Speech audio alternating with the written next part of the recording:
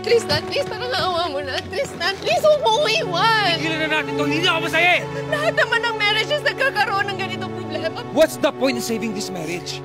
Hindi na maayos to dahil ayoko na. Hanggang dito na lang tayo. Kailangan kong tanggapin na iniwan mo na ako. I can't do this anymore. Basta i-promise mo sa akin na mag-move on ka na, ha? At kakalimutan mo lahat ng bad memories ni Tristan dito. Nabasat ako. Bastos mo! Isang gabing dapat nang kalimutan ang babago sa buhay nilang dalawa. Bridget, can we talk? Tapos na yung session natin, di ba?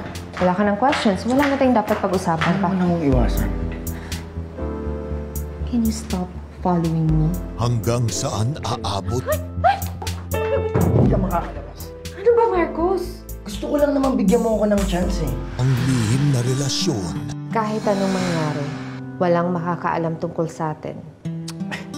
Bakit ba kasi masama? Hindi naman ako minor. Kaya kung gusto mong ipagpatuloy kung anong mang meron tayo, dapat may rules tayo.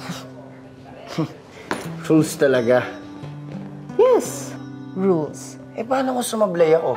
Well, kung bumagsak ka, di, maghiwalay na tayo. Hindi pwede, hindi pwede.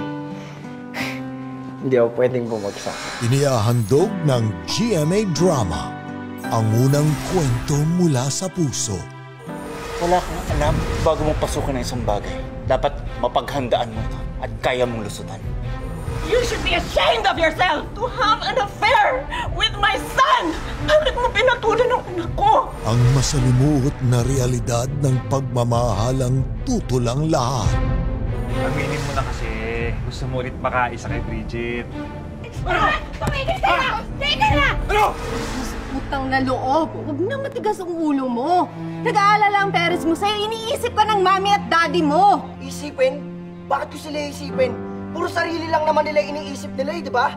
Parang ikaw, ganyang kamagaling. Puro sarili na lang iniisip mo. Sabihin mo sa kanila. I'm sure maiintindihan ka nila dahil mahal na mahal ka nila. Huwag ka na umalis. Kaya bang panindigan ng pag-ibig na buong mundo ang kalaban? It's now or never. Are you going with me?